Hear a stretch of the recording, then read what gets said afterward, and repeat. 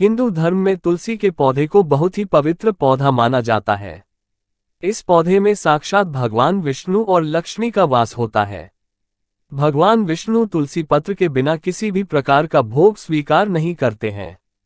तुलसी को विष्णु प्रिया भी कहा जाता है। इसलिए जो मनुष्य तुलसी की पूजा करता है, वह कभी दरिद्री नहीं रहता है। उसकी कभी दुर्गति नहीं होती है।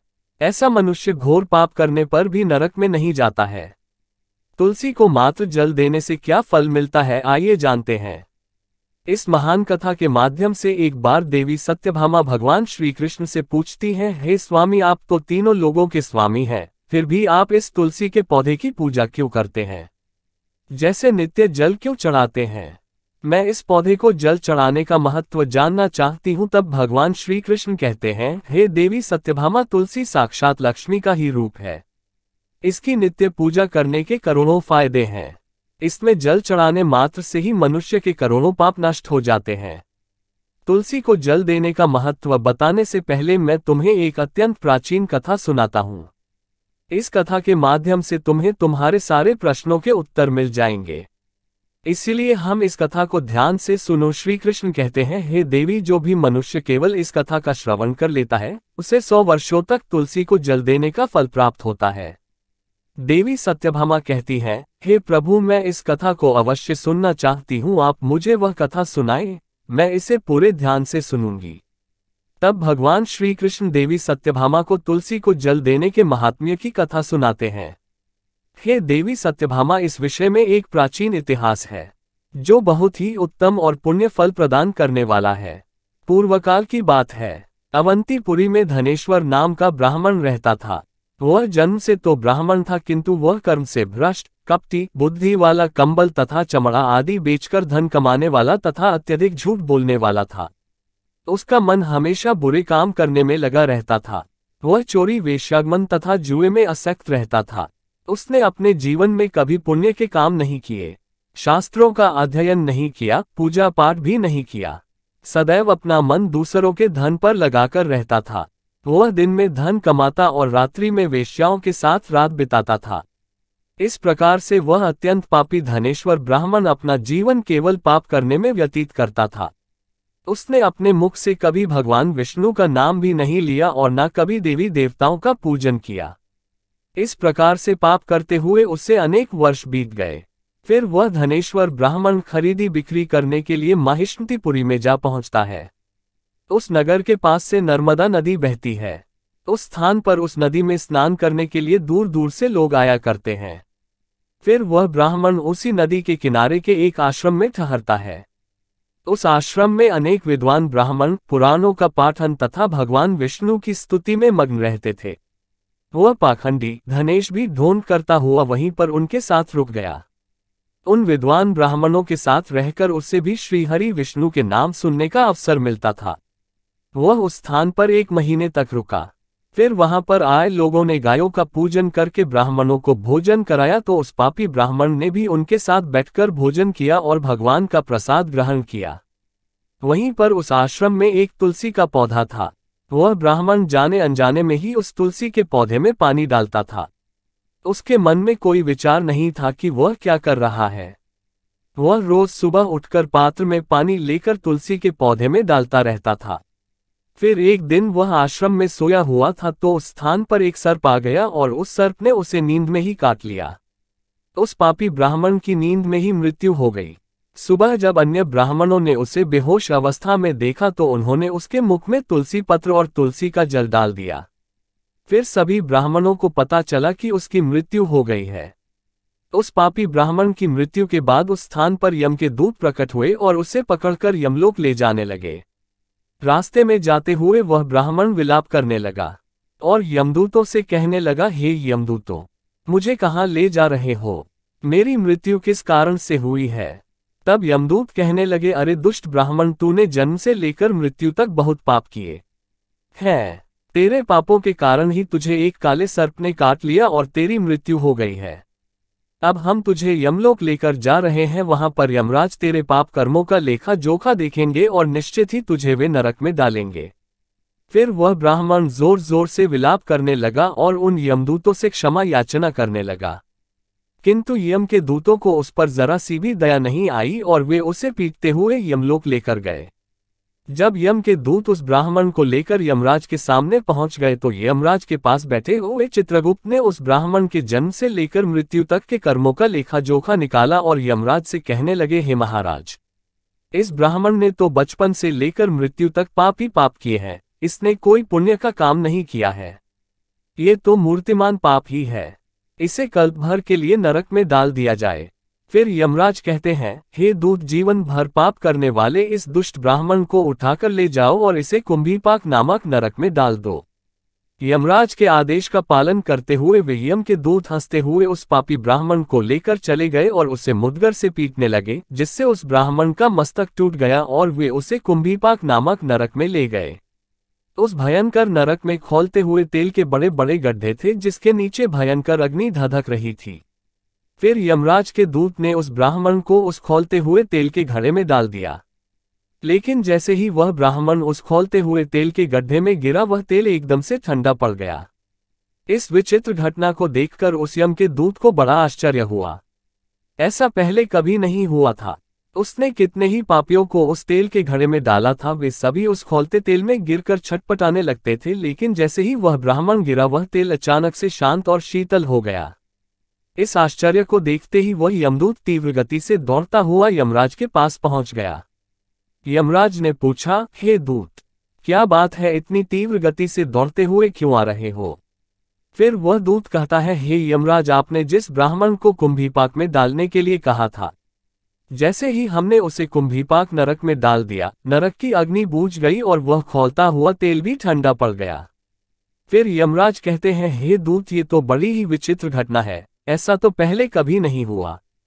यमराज विचार कर रहे होते हैं तभी उस स्थान पर देवर्षि नारद पधारते हैं।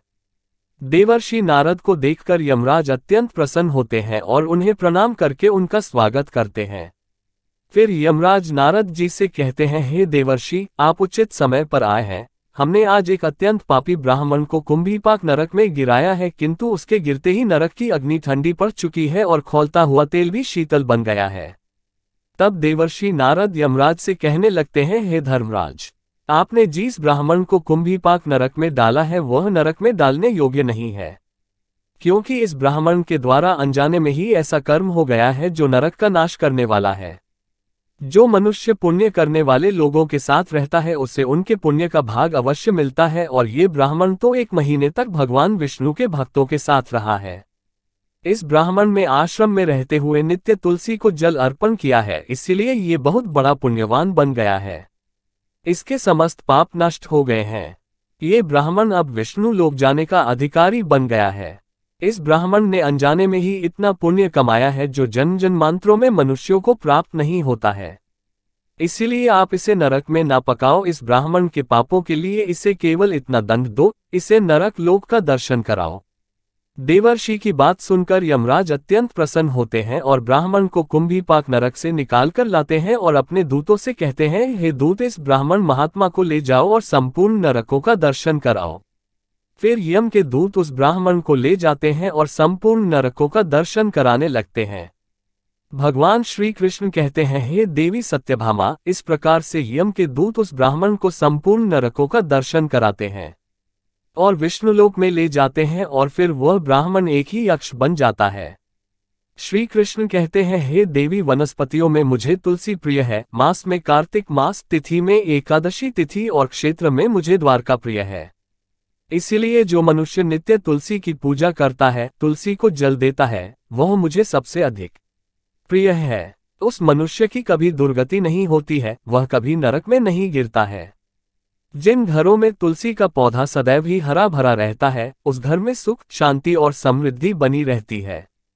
भगवान विष्णु की पूजा में और उन्हें चढ़ाए जाने वाले भोग में तुलसी के पत्र अवश्य होने चाहिए, क्योंकि तुलसी पत्र के बिना भगवान विष्णु किसी भी प्रकार का भोग स्वीकार नहीं करते हैं। इसीलिए प्रत्येक घर में तुलसी का पौधा अवश्य होना चाहिए। अगर आपके घर में तुलसी है तो सुख, शांति और समृद्धि के लिए तुलसी को चुनरी अवश्य चढ़ानी चाहिए। हमेशा ध्यान रहे कि तुलसी का पौधा चुनरी के बिना अधूरा होता है। तुलसी केवल एक पौधा नहीं है, बल्कि वह देवी है। विष्णु पत्नी है, इसलिए तुलसी को चुनरी अवश्य ही चढ़ानी चाहिए। इससे पति पत्नी में प्रेम और विश्वास बढ़ता है। घर में रहने वाली महिलाएँ सदा सुहागिन और सौभाग्यशाली रहती हैं। तुलसी का विवाह भी अवश्य करना चाहिए, जिससे मनुष्य के सभी दुखों का अंत होता है और सांसारिक जीवन सुखमय बीतता है। तुलसी के पौधे के पास अपने मुख से अपशब्द नहीं बोलने चाहिए। तुलसी के पास भूल से भी जूते, चप्पल अथवा झाड़ू पोंछा नहीं रखना चाहिए। इससे पाप माना गया है। जहाँ पर तुलसी का पौधा हो, उस स्थान के आसपास थूकने से घोर अनर्थ होता है। तुलसी के पास जल से भरा हुआ पात्र भी नहीं रखना चाहिए। तुलसी के पौधे के पास दीपक जलाने के बाद दीपक को वहाँ से हटा देना चाहिए। क्योंकि तुलसी के नीचे बुझा हुआ दीपक रखना अशुभ माना जाता है, जिस स्थान पर भी तुलसी का पौधा होता है। उस स्थान को हमेशा ही स्वच्छ रखना चाहिए। इसीलिए नियमित रूप से तुलसी के पौधे का पास साफ़ सफ़ाई का ध्यान रखें। तुलसी के पौधे में शिवलिंग और गणेश जी की प्रतिमा नहीं रखनी चाहिए। साथ ही तुलसी के गमले में अन्य किसी भी प्रकार का पौधा भी लगाना अशुभ होता है। तुलसी के पौधे के पास कपड़े भी नहीं सुखाने चाहिए, अन्यथा कपड़ों से गंदा पानी तुलसी के पौधे पर गिर सकता है। ध्यान रहे, तुलसी के पौधे को नाखून से नहीं तोड़ना चाहिए, इससे तुलसी का अपमान होता है। यदि तुलसी के पत्ते सूख कर गिर जाते हैं तो उन्हें कचरे में नहीं फेंकना चाहिए। उन पत्तों को आप तुलसी की मिट्टी में ही दबा दें। रविवार के दिन तुलसी के पत्ते नहीं तोड़ने चाहिए और रविवार को तुलसी को जल भी नहीं चढ़ाना चाहिए। बाकी अन्य दिन नित्य बिना चूके तुलसी को सुबह जल देना चाहिए और शाम के समय एक दीपक जलाना चाहिए। अक्सर महिलाएँ स्नान के बाद अपने बाल खुले रखकर ही तुलसी को जल देती है। ऐसा करना गलत होता है। महिलाओं को हमेशा ही अपने बाल बांधकर माथे पर सिंदूर लगाकर ही तुलसी में जल देना चाहिए। इससे तुलसी का आशीर्वाद प्राप्त होता है। घर में तुलसी का पौधा लगाते समय ध्यान रहेगी, इसके लिए गंदी मिट्टी का उपयोग न करें। तुलसी के पौधे के लिए शमशान की अथवा गंदगी वाले स्थान की मिट्टी का कभी उपयोग नहीं करना चाहिए। इससे तुलसी माँ रूट जाती है और सूखने लगती है। तुलसी का पौधा कभी गंदे स्थान पर नहीं लगाना चाहिए, जैसे नाली अथवा बाथरूम के पास तुलसी का पौधा कभी नहीं रखना चाहिए, अन्यथा गंदा पानी तुलसी के पौधे में गिर सकता है, जो बहुत ही अशुभ माना गया है। घर में तुलसी का पौधा कभी सूखना नहीं चाहिए। शास्त्रों में ऐसी मान्यता है कि तुलसी का पौधा सूखना अकाल मृत्यु की सूचना देता है। घर में तुलसी का पौधा सूख जाए तो घर की सुख समृद्धि खत्म हो जाती है। सूखी हुई तुलसी में माँ लक्ष्मी का वास नहीं होता है। शास्त्रों के अनुसार मासिक धर्म के दौरान महिलाओं को तुलसी के पौधे में पानी नहीं डालना चाहिए और तुलसी को स्पर्श करना भी वर्जित है। तुलसी को बिना स्नान किए जल नहीं देना चाहिए और पैरों में चप्पल आदि पहनकर भी तुलसी को जल ना दें। तुलसी को जल देते समय ध्यान रहे कि वह जल आपके पैरों पर ना पड़े। इससे तुलसी का अपमान होता है। श्री कृष्ण कहते हैं, नित्य तुलसी के दर्शन से मनुष्य को स्वर्ग की प्राप्ति होती है और तुलसी पत्र के सेवन से उसके सभी पाप नष्ट हो जाते हैं। तुलसी का पौधा हमेशा ही घर के सामने लगाना चाहिए। इससे पूर्व अथवा उत्तर दिशा में लगाना सबसे अधिक शुभ होता है। तुलसी के पास मरुस्थलीय पौधे रखना बेहद अशुभ माना जाता है। ऐसे पौधों से नकारात्मक ऊर्जा निकलती है। शास्त्रों में कहा गया है, जिन पौधों से हरी भरी कलियों की उत्पत्ति ना हो, उसके स्थान पर कांटे निकलते हो तो ऐसे पौधों को तुलसी के पास कभी रखना नहीं चाहिए। शास्त्रों में केले के पौधे का विशेष महत्व बताया गया है। अगर तुलसी के पास केले का पेड़ लगा देते हैं तो कई गुना अधिक लाभ प्राप्त होंगे। केले के पेड़ में भगवान विष्णु का वास होता है। इसे तुलसी के पास लगाने से घर में सुख समृद्धि आती है। तुलसी के पौधे में शालिग्राम भी अवश्य रखना चाहिए। तुलसी के गमले में शालिग्राम रखने से तुलसी का और भी अधिक शुभ प्रभाव आपको देखने को मिलेगा। शालिग्राम भगवान विष्णु का निराकार रूप माना जाता है। ये काले रंग का पत्थर होता है, जिसे विलक्षण और मूल्यवान माना गया है। इसे अगर तुलसी के गमले में रखेंगे तो आपके घर से संपूर्ण नकारात्मक ऊर्जा नष्ट हो जाएगी। घर में केवल एक ही शालिग्राम की पूजा करनी चाहिए। पुराणों में कहा गया है, भगवान विष्णु की मूर्ति से कहीं ज़्यादा उत्तम होता है शालिग्राम की पूजा करना। शालिग्राम को चंदन लगाकर उस पर एक तुलसी का पत्ता रखना चाहिए। प्रतिदिन शालिग्राम को पंचामृत से स्नान कराना चाहिए। ऐसा करने से सभी जन्मों के पाप नष्ट होते हैं। शालिग्राम सकारात्मकता और सात्विकता का प्रतीक होता है तो दोस्तों इस प्रकार से भगवान श्री कृष्ण ने देवी सत्यभामा को तुलसी के पौधे को जल देने का महत्व बताया है और घर में तुलसी का पौधा लगाने के नियम बताए हैं। आपको ये कथा कैसी लगी कमेंट करके ज़रूर बताएँ। जानकारी अच्छी लगी तो वीडियो को लाइक ज़रूर करें। साथ ही कमेंट में जय श्री कृष्ण और जय माँ तुलसी ज़रूर लिखें। आपसे विनती है कि आप इस चैनल को सब्सक्राइब ज़रूर करें ताकि ऐसी ही आध्यात्मिक जानकारी आपको प्राप्त हो। आप सभी का धन्यवाद।